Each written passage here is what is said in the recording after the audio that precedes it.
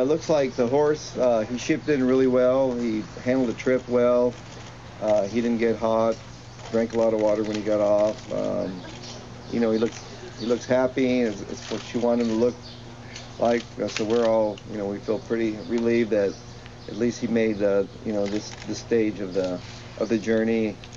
You know, came came in here safe and sound. So. Um, uh, the difference between three years ago is probably uh, we came in here, um, you know, trying to see if, if we could get it done.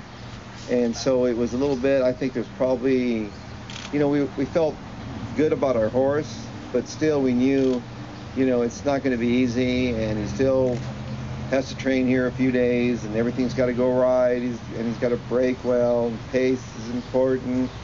And uh, this this time around, it's like um, uh, he just, you know, he, he started his journey just a few months ago, and so he's just he's brought us along. We've just been riding his coattails, and so it, it's a different feeling. It's like uh, the the talent, quality is, is there. It's the same type of horse, and um, you know he came out of his Preakness race uh, really well, and he's been training well. So, um, but it is it is a different vibe because it's like you know, we we know it can be done, but uh, you know, we, we want it.